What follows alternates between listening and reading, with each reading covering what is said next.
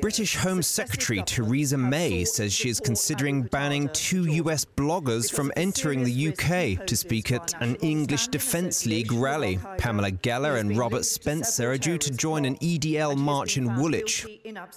The pair are prominent anti Islamization campaigners in the US. Mrs. May has the power to exclude non British citizens from the UK if she considers their presence to be not conducive to the public good. However, under the same directive, she must act in a reasonable, proportionate, and consistent way.